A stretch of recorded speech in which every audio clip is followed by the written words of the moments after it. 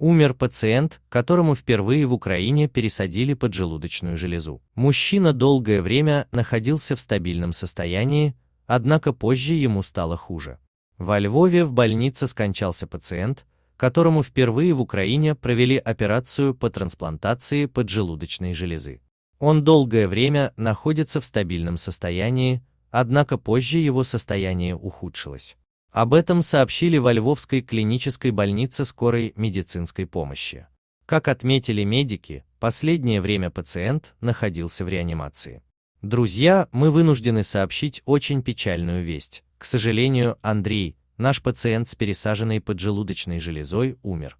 Долгое время его состояние действительно было стабильным, почка начинала работать, поджелудочная железа тоже. Но, к сожалению, потом показатели стремительно ухудшились, сосуды затрамбовались и ни операция, ни дальнейшая реанимация уже не имели эффекта, сообщили в больнице. По словам врачей, трансплантация поджелудочной железы является одной из самых сложных операций по пересадке органов. Мировая статистика говорит о том, что каждый третий пациент после такой операции не выживает, в то время как два других получают шанс жить полноценно.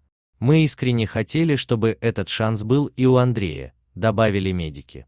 Напомним, в начале августа во Львове впервые в Украине провели пересадку поджелудочной железы.